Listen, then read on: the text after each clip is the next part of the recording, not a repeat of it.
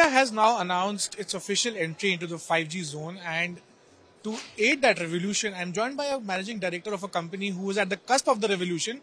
Remember, Mukesh Ambani himself came and launched a few products of the company that was on. I'm joined by Mr. Mahendra Nahata from HFCL. Thank you, sir, uh, for joining us at Business Today.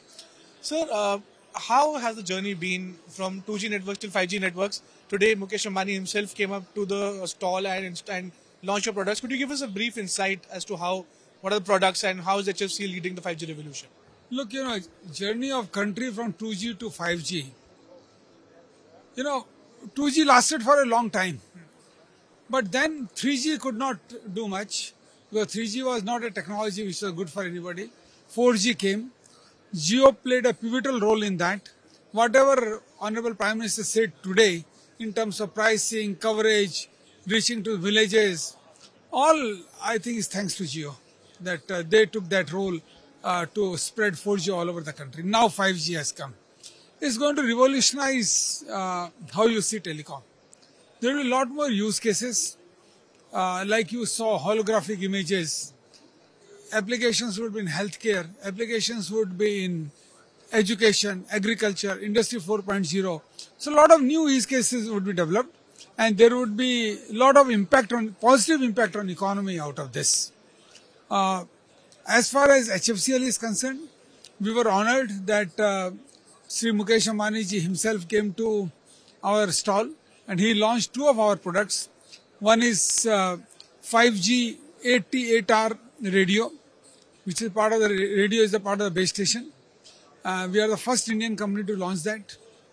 Then uh, he also launched a very important product, Wi-Fi 7 based access point, which is giving a throughput of 10 gigabits per second, which is highest in the world. Nobody has given a throughput of 10 gigabit per second on any Wi-Fi.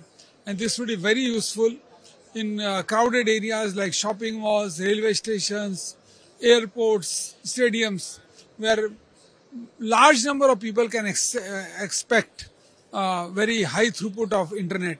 And uh, uh, you know, working on Wi-Fi would be a pleasure with this kind of equipment. Right, sir. Uh, so, what about uh, Atmanirbharta in 5G? How good initially services has been launched, but how confident are you that India would become fully Atmanirbhar in 5G? Because that's what has been the Prime Minister's clarion call towards uh, Atmanirbharta Bharat, and telecom is surely leading that evolution in certain ways. How about that, sir? We all have taken a lot of inspiration from Prime Minister's uh, uh, clarion call of Atmanirbhar. Initially, people thought that uh, telecom would not be able to do much, but telecom took a huge inspiration from Honorable Prime Minister's announcement. As a result of this, today you see 5G, Reliance for example, Jio, they have uh, uh, deployed the core, which is the most complex of the network, is totally Jio's own designed. Radio access network, they are also being designed now in India, like we have designed 88R. Jio itself has designed a couple of such products. Indoor small cells, outdoor small cells we are designing. So I say in next two years time, you would find lot of equipment, lot of technologies for 5G would be produced in India and would not only be produced but exported out of India. Sir, how do you think 5G will change our lives? India has been an agrarian economy, rural economy for a very long time. Even the Prime Minister has focused on how the agriculture and the farmers' welfare should be done. How do you see the future of 5G in India uh, changing Indian lives, sir? Look, you know, a lot of new use cases will come up. Like what you saw today. A heart is being shown in a 3D image uh, to the students and explained that how, uh, you know, heart functions and different parts of heart. Or, you know, so many such things will develop as use cases. The students will benefit.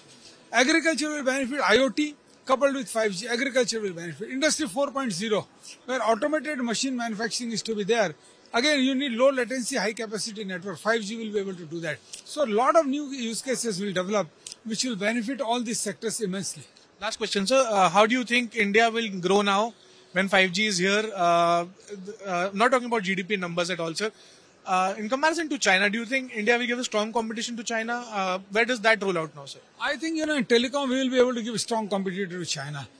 The need of the hour, of course, is the semiconductor facility in the country, which now people have started talking. If semiconductor facilities there in the country, we would be able to very well compete with China. As it is, we are competing with China. A fiber optic cable, which we supply to 30 countries, we are very effectively competing, with Chinese companies. There's no problem.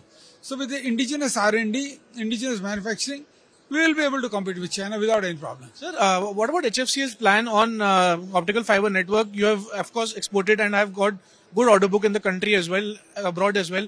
How are you looking at uh, expansion of the company and growth percentage and also?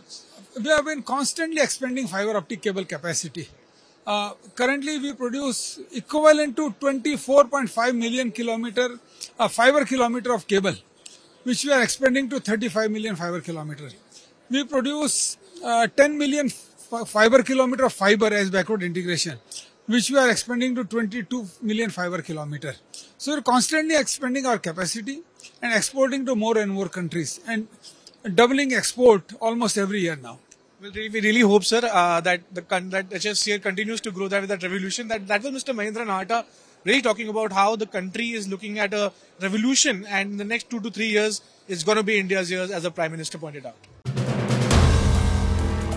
If you like the video, do like, comment, share and subscribe.